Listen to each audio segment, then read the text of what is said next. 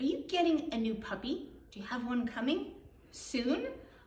I want to tell you something that we've been thinking about, Bud and I, because we are these people who come up with ideas, but I think this one's gonna stick.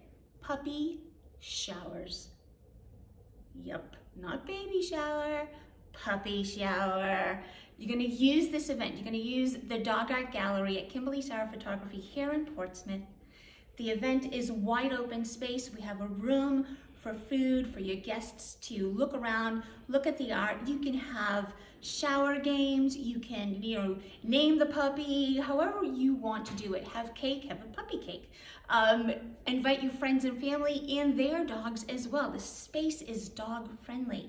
So why not? Listen, we are thinking we need one person to try out some ideas that we have, including a mini photo shoot for the new puppy, and, and a ton, again, a ton of ideas.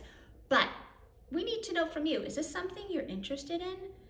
If you are, reach out to me, Kim at Kimberly Sarah Photography, or through Facebook, Instagram, TikTok Messenger, um, however we, one reaches out.